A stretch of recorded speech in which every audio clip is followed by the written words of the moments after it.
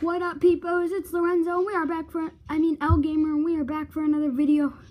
And today, I'm gonna show you guys, um, I'm not, this is not Let's Play, um, I, I'm just in this survival world. I just created it, but, for like the intro, but I'm gonna teach you how to get a robot to build a thousand blocks in seconds in Minecraft Pocket Edition. So, basically what I'm going to do, it's just a short little application you can find on Android or iOS.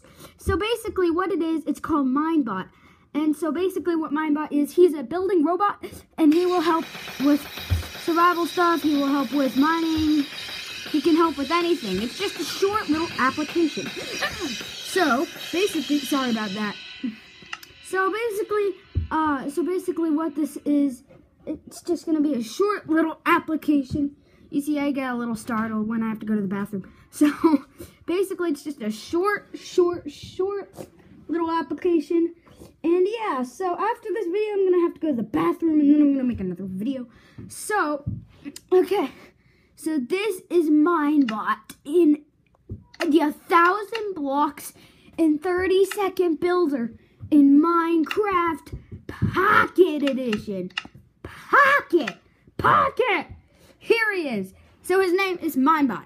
So he says, hello, what would you like to do? No, no, no, no.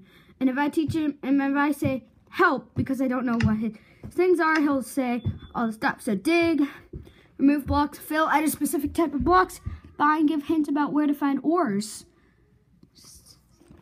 So if you're in survival mode, you probably want to do all that stuff. And yeah, this is just a part one, so yeah, part two is coming up. Bye.